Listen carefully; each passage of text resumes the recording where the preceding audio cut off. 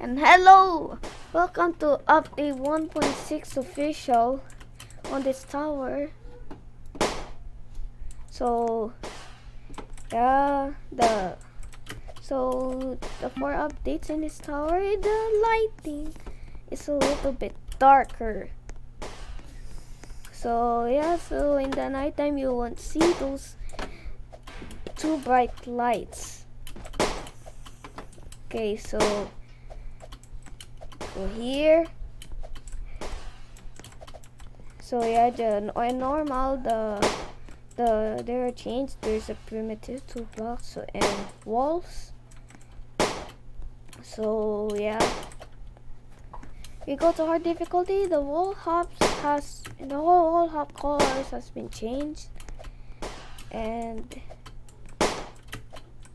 so you and in hard you go going to jump here uh, a platform here you go to this sphere go to here jump to the ladders and jump to the ramp at the right here or here. So in insane difficulty there's a little bit changes so there's walls here go here. So it's morning already. Yes you can see the lights.